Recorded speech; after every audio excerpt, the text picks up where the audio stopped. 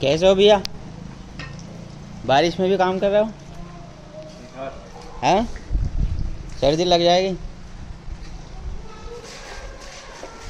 अच्छा क्या कर रहा हूँ नाली का पानी निकाल रहा हूँ। क्या नाम है? भरत। भरत।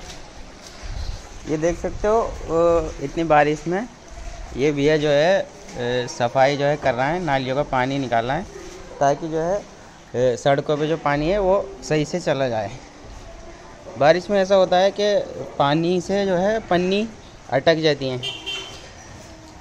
तो वो जो है बंद हो जाती है।